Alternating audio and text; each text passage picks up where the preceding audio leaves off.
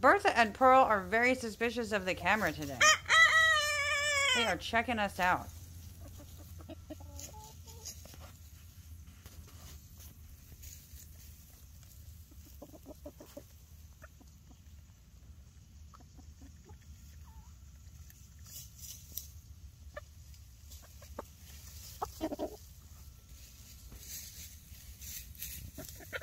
And Edgar decides to come over and see what all the fuss is about.